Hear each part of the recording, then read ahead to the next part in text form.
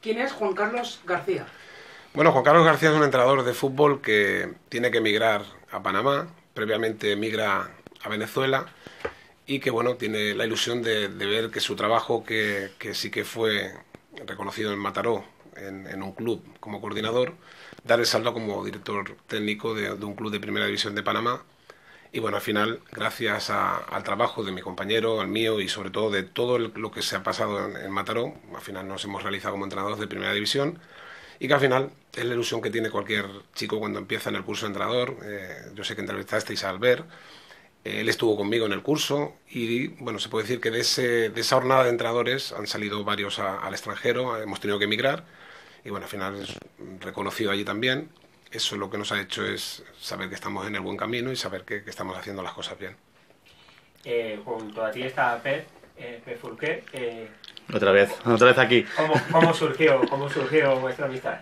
Bueno, eh, él te lo puede explicar mejor, pero al final yo siempre he intentado rodearme de los mejores y, en ese caso tener a Pepe a mi lado era, era prioritario cuando, cuando arrancamos en Rocafonda en un, en un proyecto de, coordinador y director deportivo. Y en ese momento yo me contacto con él, nos conocíamos muy esporádicamente del fútbol, de habernos enfrentado. Él estaba en entrenador en la Cerañola cuando yo juego como jugador, yo era portero de fútbol.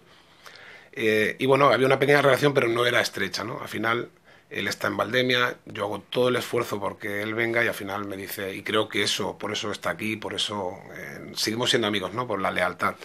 Él dice, tengo que seguir estando aquí porque ellos confiaron en mí y no, no puedo dejar un proyecto a medias, ¿no? Bueno, ahí es donde arranca nuestra amistad, que dura, pues desde el 2000 prácticamente 9-10 y bueno, espero que dure mucho porque al final es un gran tipo y, bueno, lo que está haciendo ahora en Salesianos es, digno de alabar, ¿no? Gracias, eh, gracias. Vamos, a tus inicios. Portero, eh, sí. ¿qué edad más o menos empezaste a Yo empecé tempranito, yo empecé como a los ocho años a ser eh, portero. Eh, yo era un loco y como loco al final por eso me hice portero, ¿no? Yo arranqué eh, en el Mataró, yo estuve prácticamente toda mi vida pre-Benjamín, Benjamín, Alevín, que antes no era así, era Alevín infantil y juvenil. Yo estuve en el Mataró, yo debuté con 14 años en tercera división con el Mataró, y bueno, de ahí sí que me llama Mataró Tiritas, que en aquel momento era el, boom, ¿no? El, fútbol sala, que parecía que, iba a ser lo que sí que es ahora, ¿no? Una liga nacional bien organizada y profesional. Y con 15 años yo debuto en Valencia, y bueno, de ahí ya viene todo eh, el jugar en, tanto en Rocafonda, yo estuve jugando en Cerdañola, Verde y Blanca, prácticamente he recorrido los, los, equipos de Mataró cuando era jugador y bueno, al final eso eh, he hecho grandes amigos y eso también me ha hecho aprender de todos los entrenadores que he tenido en el, en el proceso mío de como jugador, ver lo que no hay que hacer y ver lo que sí que hay que hacer. ¿Con qué equipo te quedas, Juan Carlos? De todos. Sí. A nivel de estructura yo te diría que, que, la Cerañola. La Cerañola fue, fue un equipo que prácticamente me caló. También era los 17, 18, 19 años. Era en la etapa esa en la cual tú quieres ya ser profesional, tú quieres ser algo importante en el fútbol. Y me impactó, me impactó porque la estructura era buena, había un grandes entrenadores, ahí es donde conocí yo a Pep. Eh, se cuidaba mucho la formación de los jugadores, el tema de alevines infantiles lo tenían muy bien guardado, o sea, al final no eran ir a buscar jugadores, sino traer mejores entrenadores para que subiera el, fútbol de ellos. Estaba Teddy, ¿te acuerdas? Teddy, sí, además esa era una de las personas que, que, hizo mucho por el fútbol. Y bueno, todo eso me impactó. Al final, luego, sí que te puedo decir que Rocafonda me ha calado porque fui eh, propulsor de que creciera ese club, de que todo el mundo creyera en, el proyecto que teníamos los 17 y 18 entrenadores que habían allí, y eso al final también cala, ¿no? Pero como estructura, Acerañola en su momento creo que podía haber competido un poquito más y podía haber estado en posiciones mejores. ¿A qué edad empezaste a entrenar? Yo empecé a entrenar muy prontito. Yo con 17 y 18 años ya me picaba el gusanillo y yo sí que me ponía incluso cuando estaba en la Verde Blanca, que fue después de estar en la Cerañola, yo con Bernabé, que es uno de los entrenadores que también me ha dejado un poquito de huella, yo comentaba, comentaba muchas cosas con él y bueno, ahí empecé a hacer mis pinitos en, un equipo de tercera regional, eh, empecé como ayudante, al final eh, vas metiendo, te vas metiendo, ya me proponen ser jugador o entrenador a la misma vez, bueno, pero cuando ya me formalicé como entrenador fue cuando yo hice el curso de entrenador en el CAR y ahí fueron los 23 años que es donde ya decidí, esto me gusta. Juan Carlos, 128.000 habitantes, referente en Mataró, ¿qué opinas actualmente? realmente... La pregunta del millón. Pienso, mira, yo, yo venía pensando, porque al final eh, en el fútbol tienes que tener amigos, no enemigos. Y de lo que tú puedas decir, al final te puede, se puede decir que tienes que ser dueño de, tu silencio más que de tus palabras, ¿no? Pero sí que es verdad que nosotros, con Pep incluso lo habíamos comentado, cuando estábamos eh, dirigiendo, organizando todo el tema del fútbol base de aquí, se les hizo una propuesta a la comisión de clubs donde debería haber un centro de tecnificación, donde cada uno trabajara por su, por su lado, por su entendimiento, pero que una vez a la semana pudieran venir a un centro donde se le ofreciera los mejores entrenadores de, de Mataró poder ofrecer lo que tienen, bien estructurado, bien organizado, y eso pareció como que era, te voy a decir una palabra que quizás no debería decir, un insulto, ¿no? Como decir, ¿a qué me vienes a enseñar? Si yo ya lo sé todo, ¿no? Ese es el grave problema que hay aquí. Al final, los egos en el fútbol están muy marcados. Pero si hay alguien que no tiene que tenerlo claro el tema de los egos son los jugadores. Entonces eso al final decae a que el jugador, muchos habitantes, poca estructura, nadie cree en lo que hace y al final cada uno va a intentar robar o quitar lo que tengo al lado que ya está trabajado.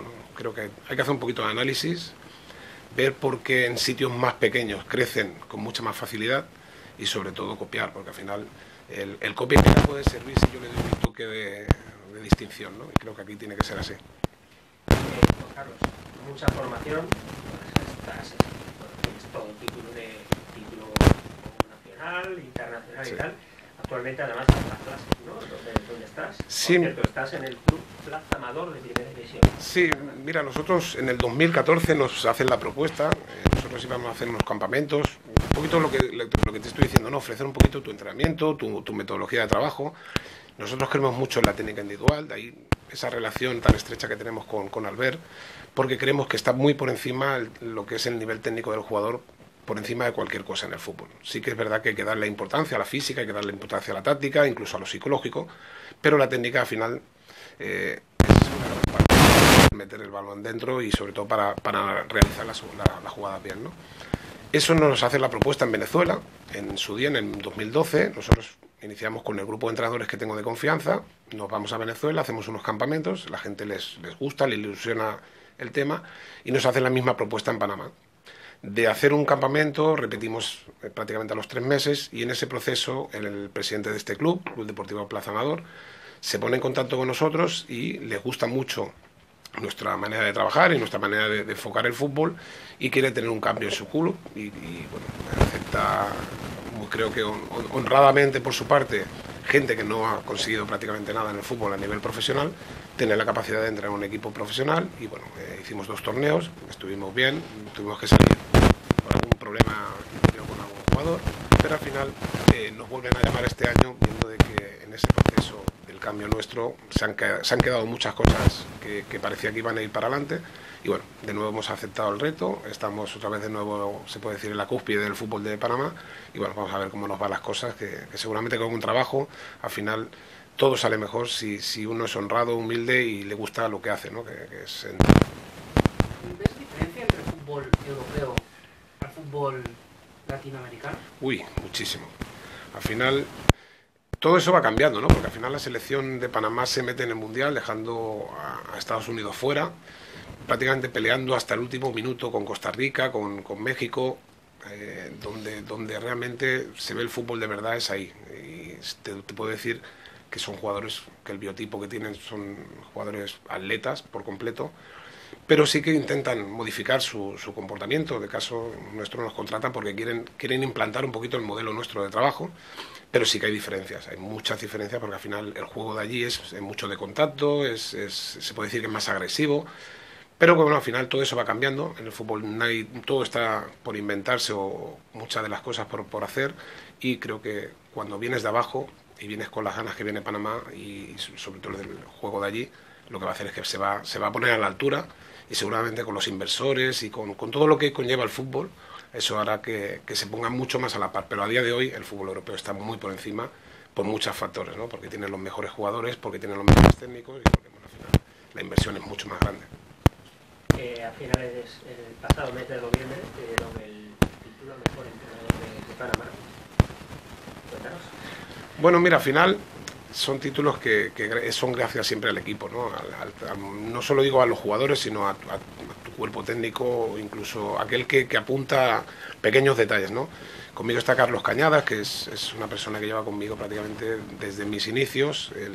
Es una persona leal, es una persona muy responsable en su trabajo y que eso al final, cuando estás en primera división, hay mu muchos matices. Yo comentaba con Pepe el otro día, con Albert, que esos pequeños detalles que tú si estás entrenando no los ves, cuando tienes a alguien de confianza que sabes que va a hacerlo igual o mejor que tú, te garantiza eso, ¿no? De que tú puedes estar por esos pequeños detalles, como es hablar con el director deportivo, tener un jugador que está menos motivado hablar con él una charla, que cuando estás entrenando es complicado. Creo que al final ese trofeo, ese recon eh, reconocimiento no es solamente a, a, Juan Carlos García, sino es al trabajo que se ha hecho allí en Panamá, gracias a Carlos, gracias a Diego, gracias a, a todos los entrenadores que han pasado en el proceso ese.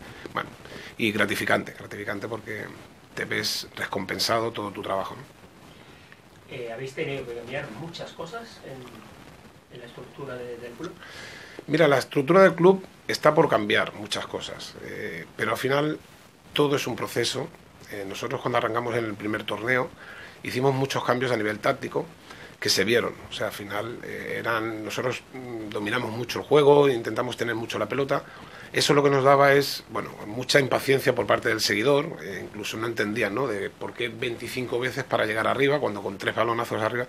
Todo eso se ha intentado cambiar, pero sí que el club está estructurando ahora todo eso de, del jugador que, digámoslo así, no es eh, del estatus que le gustaría tener el fútbol, ¿no? Y sí que está intentando meter gente muy joven, porque al final eso son los que pueden salir del país y sobre todo los que pueden llegar a la selección.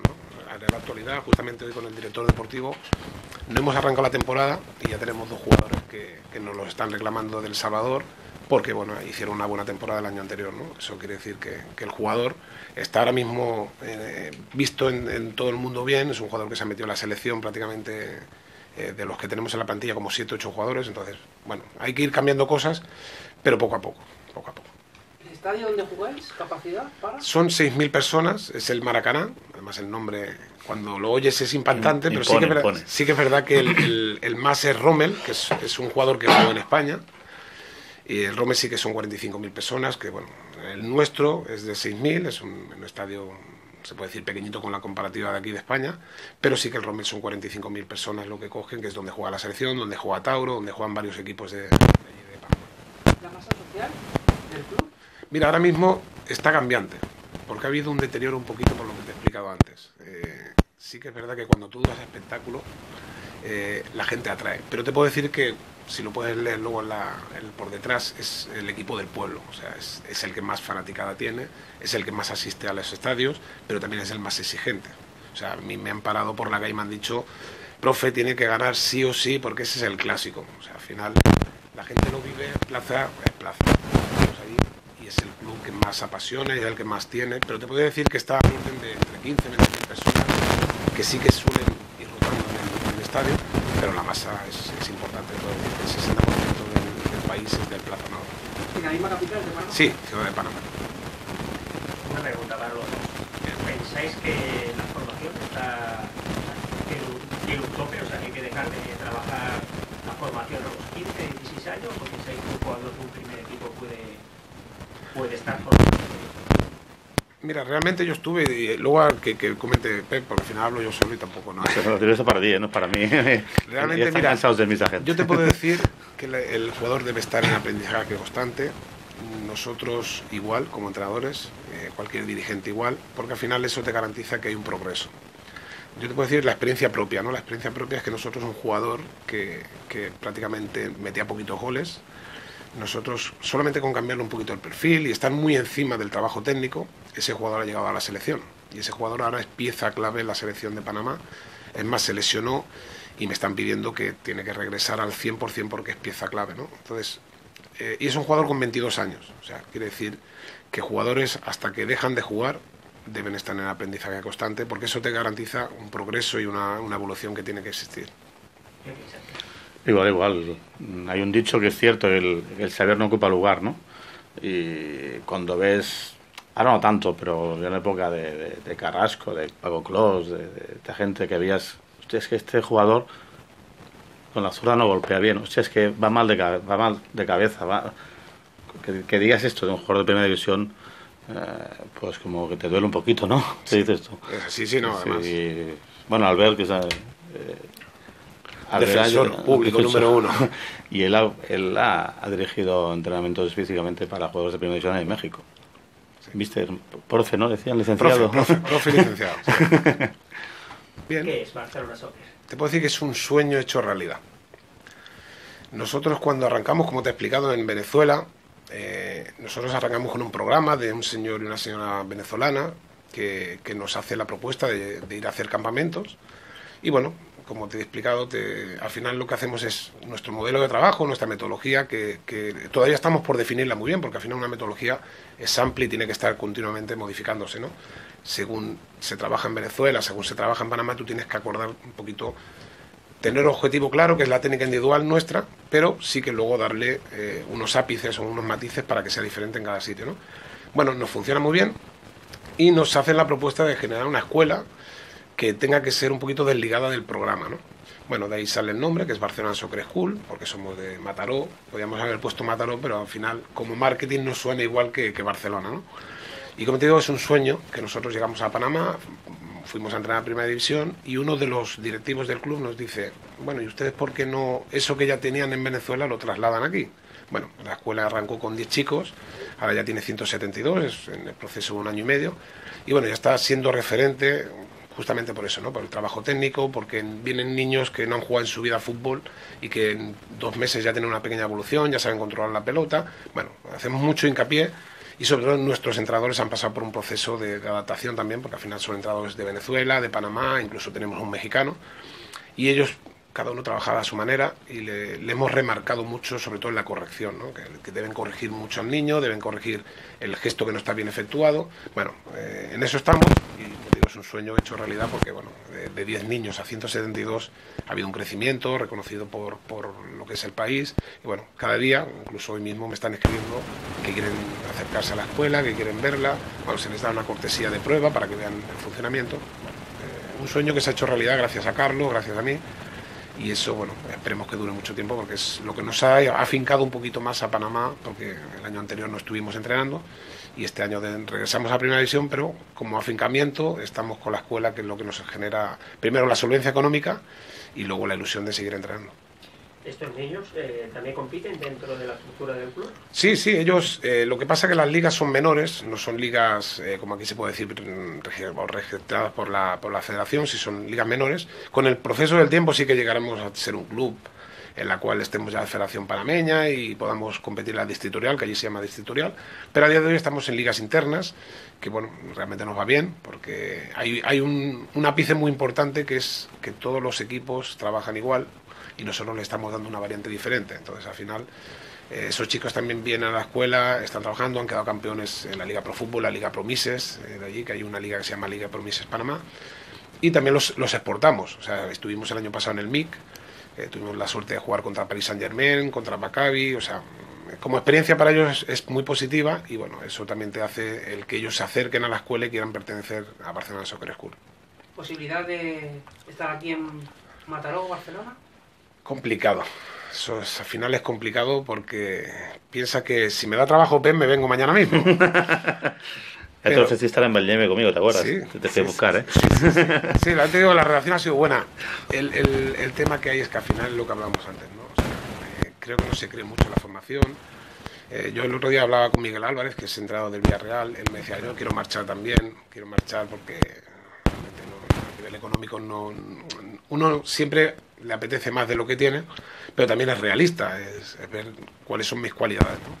Creo que a día de hoy es complicado regresar, se deja mucho atrás, eh, tengo mi familia aquí, mis amigos, prácticamente toda mi vida, pero al final el reconocimiento está allí y cambiar es complicado. Tú, volvamos a hablar del primer equipo. Eh, actualmente tu equipo de trabajo, entrenador de portero, entrenador sí. físico, háblanos un poquito. Bueno, mira, ahora mismo está conmigo Carlos, yo no digo nunca que ni es segundo ni asistente, porque al final es cuando tú tienes a alguien de tanta confianza, eh, te podías quedar tranquilamente en casa que él trabajaría igual, porque es igual de conocedor o más que yo. ¿no? Un punk. Sí, la verdad es que siempre lo hemos, lo hemos dicho así, el club lo aceptó en su momento y él lo ha vuelto a aceptar. Hoy precisamente tenemos el chico que nos está grabando, porque arranca el torneo en breve, lo que pasa es que nosotros teníamos unas terapias que hacer, eh, el tema de la espalda y tal pero tenemos un chico que nos graba vídeos, tenemos entrado de porteros, que es el que está en el club de hace ya tres años, tenemos probado físico, o sea, hay kinesiólogo, o sea, es un... Es un sí, no, es profesional. Te puedo decir que el- lo que está cobrando un jugador no es tan profesional como en otras en otros, eh, situaciones como México o incluso como Estados Unidos, pero sí que eso está cambiando.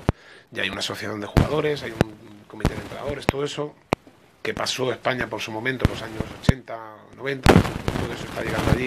Bueno, la verdad es que está siendo profesional, pero está todavía por cambiar mucho. Sí, realmente, eh, justamente el, el chico que hace eso no solamente trabaja para nosotros, sino que trabaja para varios clubes, porque al final todo eso se pone en una plataforma, allí funciona mucho el cable y está en VOD, que es eh, pago por visión, o sea, tú puedes ver todos los partidos de la liga, o sea, todo está a la, a la base de, de la gente, ¿no? Pero sí que hay uno que es el que tiene, se puede decir así, el copyright, ¿no? Que es el que tiene todo gestionado. Pero anexamente nosotros tenemos un chico que es el que graba los partidos, el que nos graba los entrenamientos incluso para ver situaciones que se te pueden escapar. Los medios de comunicación de Panamá, ¿qué tal? ¿Se portan? Bien, al final eh, creo que cuando tú respetas, te respetan. O sea, ahora me- prácticamente a mí en las redes sociales me están dando bastante duro porque no entienden que el director técnico y, su mano derecha estén aquí mientras que el torneo empieza la semana que viene. Pero claro, nosotros cuando hablamos con el club se lo dijimos claramente, nosotros yo tengo una terapia térmica, Carlos tiene unas pruebas médicas que hacer, reciente fallecimiento de su mamá. Nosotros fuimos muy claros. Y el club nos aceptó la propuesta nuestra de, de que deberíamos regresar el día 10 y así es. Pero sí que son exigentes. O sea, al final creo que el conocedor de fútbol no es el periodista, pero sí que es el que hay que escuchar, porque al final te puede ayudar. Pero eh, exigencia al máxima porque no nos olvidemos que es primera división y como una vez hablaba yo con Albert, primera división es primera división en cualquier parte del mundo. O sea, sea Shanghái, China, Corea, es primera división en la exigencia máxima. Eh, empieza la, la liga la semana próxima. Sí, el día 13 empieza el torneo además con Derby del Pueblo, que es Chorrillo, que es prácticamente el equipo más eterno rival que hay allí de cara al Plaza Amador. Que es como en algunos países de Sudamérica, clausura y apertura. Sí, allí es apertura y clausura. Sí, allí son seis meses, el torneo dura seis meses, hay semifinal, final. No es lo que nos gusta, porque ahí se ve poco el trabajo y, de- y el orden táctico del equipo, pero es lo que hay. O sea, al final eh, es poco entendible, pero mm, si lo cambian algún día yo creo que saldrá a beneficiar al fútbol, porque al final el largo recorrido de un- una temporada te hace ser mejor o peor, ¿no? ¿El club tiene ligas, copas, Sí, su historial? Sí, ahora mismo, recientemente salir nosotros al torneo siguiente quedó campeón. Como puedes ver, ahí están las estrellitas, tiene seis torneos. eh, no es el equipo que más ha ganado, es Tauro, Tauro y Árabe, que son los, los que copan con 13 y 14. Pero sí que Plaza, como te he dicho antes, el equipo del pueblo es el que siempre todo el mundo quiere ser, porque eh, eh, representa mucho la salida de Rommel Fernández, que fue uno de los jugadores que vino aquí a España, que estuvo jugando en Tenerife, en Albacete, Falleció. que falleció y que se le recuerda cada año, cada año que es el, el día que murió se le recuerda. Eso ha calado mucho también en el país, pues fue el primer jugador que marchó fuera de Panamá y el más representativo, ¿no? Ahí tiene el nombre, el, el estadio que tiene que juega la selección eh, pertenece a Romer Fernández, ¿no? Al final, bueno, eso es lo que ha hecho de que todo el mundo quiera ser de ese equipo porque es de donde nació ese jugador. Hay, hay también la Champions, eh, digamos, eh, modelo Sí. Champions. Es la Conca Champions que le llaman ellos, que bueno, eh, Plaza el torneo anterior eh, ganó 1-0 a Monterrey, que es un- era uno de los pilares importantes de México y le ganó 1-0, pero sí que es eh, se juega, han cambiado, ha habido un- una variación en eso, que antes solamente jugaba el campeón y ahora está jugando el campeón y por consiguiente el segundo también de, de la liga, que había una copa satelital como una Copa del Rey, va el segundo de, a- enfrentarse también. Juan Carlos, supongo que mantenerse, ¿no? Mm, La máxima categoría. ¿O no bajáis? No, no, no, no, mantenerse, no, no. No puedes decir eso. Si dices eso, me tengo que venir para, para matarlo. O sea, tienes que Ah, hay, ganar que hay que ir a ganar. Y te ficho para Salesianos. Ahí para ganar. O sea, eh, ahí no hay términos medios. Al final, nosotros nos hemos quedado con dos jugadores menos. Nosotros, justamente hoy me hablaba el director deportivo, que posiblemente había dos salidas también de dos jugadores para El Salvador, pero al final eh, hay que ganar. O sea, el, el objetivo principal es meterse en semifinales y una vez que estés en semifinales, eh, tienes que ir por el título. Pero al final nosotros, los otros dos torneos estuvimos en semifinales, nos tocó enfrentarnos al mejor equipo que había en ese momento prácticamente en todo Centroamérica, que era Árabe Unido, y bueno, al final perdimos 1-0 y 2-1 y en el siguiente torneo ganamos el primer partido, el segundo lo perdimos 1-0 también. Pero mm, la gente quedó contenta porque habías estado en semifinales. Ahí el objetivo es meterse en la semifinal y si puedes ganar, ganar, pero no, eso de bajar, bajan tres y es impensable. Lo que pasa es que no se baja en el primer torneo, bajas en el cúmulo de los dos torneos, como se hace en Argentina, como se hace en México. Sí, clasifican cuatro, no como lo hablaba con Albert cuando estuvimos en, yo estuve en Guadalajara con él, clasifican ocho, es mucho más sencillo. También es verdad que en la liga son menos equipos, pero clasifican cuatro y suele ser a cuchillo y entre los dientes porque es exigencia, exigencia máxima. Te vamos a hacer la misma pregunta que le hicimos a Albert. Bien. Se acaba tu, tu etapa, tu etapa al, lado, al otro lado del charco, vuelves a Mataró. Bueno, pues habrá que pensar. De momento no pasa por mi cabeza, como te he dicho antes. Pero seguramente, si algún día hay que tomar esa decisión, bueno, vendremos y, y apostaremos por lo que nos gusta, ¿no? que es, es trabajar y si puede ser en el fútbol mucho mejor. Pero es complicado pensar ahora mismo y bueno, mm, tengo 46 años, todavía creo que, que nos queda algo por hacer y sí, sí que indudable, si algún día hay que volver, nos vendremos orgullosos de lo que hemos hecho y, y de saber de que aquí tenemos grandes amigos que seguramente eh, nos pondremos a trabajar con ellos de la mano y aprenderemos mucho de ellos para, para ubicarnos en el sitio y volver a trabajar. Le pondré los conos a. ¿Qué, qué te, qué te llena más? ¿El- ¿La, formación o? Esa pregunta me la hizo a mí un periodista una vez y yo te puedo decir que, que hay que separarlo muy bien. Pero a un profesional hay que formarlo. Entonces, es un continuo aprendizaje. Y eso, cuando tú estás entrando con niños, te sirve para luego, cuando estás en primera división, incluso cómo trasladar tu mensaje al jugador, porque al final el jugador profesional también necesita cariño, también necesita esa estrecha comunicación contigo, ¿no? Entonces, el trabajar con niños a diario te garantiza también que cuando te, te pones a hablar con él, entiende tu mensaje de diferente manera. Juan Carlos, ya estamos a punto de acabar. El grito de guerra del Plaza Amador. Uy, es demasiado largo. Cuenta que es una canción que los jugadores, creo que si puedes buscarlo, me gustaría que lo vieras. O sea, yo te puedo decir que el primer día que yo me metí en ese vestuario, yo salí emocionado como nunca ni cuando yo jugaba fútbol. O sea, es un grito que al final lo que hace es que canta, ellos cantan y saltan y dicen hacia la derecha y hacia la izquierda, o sea, es algo espectacular. Y lo hay, ¿eh? Está en el YouTube, está grito del Plaza Amador antes de un partido. Sé que otros equipos gritan, vamos fuera, uno, dos, tres. El Plaza es una canción prácticamente que dura como un minuto. Y los jugadores salen, Enchufadísimos. sí.